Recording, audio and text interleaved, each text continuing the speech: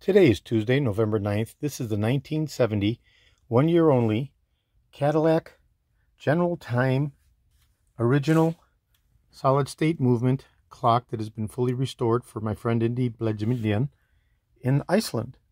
And I'm going to be doing a functional validation test before I ship the unit. And although the encasement is identical between 69 and 70, the 1969 variant has a black bezel. Okay?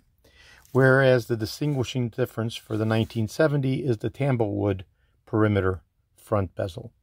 So since Indy has identified he has a 1970, I'm going to be shipping him the period correct 1970 Tamblewood bezel finished clock that has been fully restored for his 1970 Cadillac Eldorado.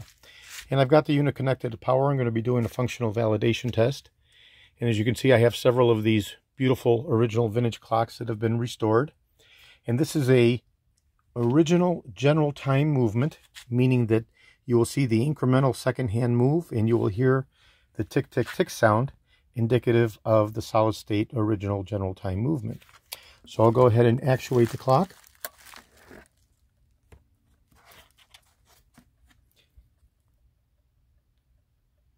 And we see instead of a sweeping hand, an incremental movement in the second hand.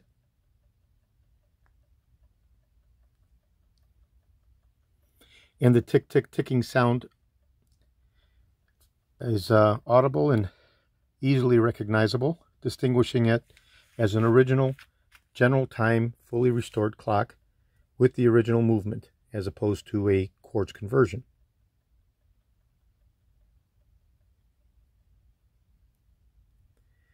Okay, so I'll go ahead and package up this unit and I'll be shipping it to my friend Ingy in Iceland. As soon as I get his okay to ship, reply confirmation. This is George in Florida.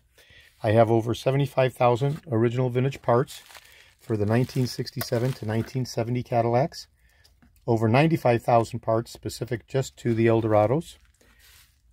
I'm best known for my restoration of the Cadillac steering wheels with the wood grain inlay, the tilt and telescopic steering columns, the instrument clusters, of course these beautiful fully restored quartz as well as original movement uh, clocks for the Cadillacs, as well as the other critical electrical components, including the radios and the power antennas.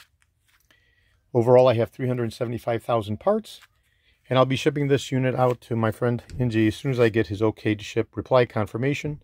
This is George in Florida. Today is Tuesday, November 9th. Thank you very kindly.